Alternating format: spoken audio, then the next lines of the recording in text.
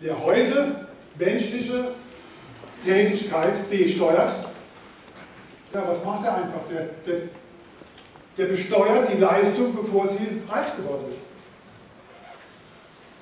Das ist so eine Art Knospenfrevel, so ein gesellschaftlicher Knospenfrevel. Wir dürfen die Leistung erst besteuern, wenn sie am Ziel ist. Und dann sind wir bei der Konsumsteuer. Konsumsteuer ist die jüngste Steuer, die wir haben. Mehrwertsteuer.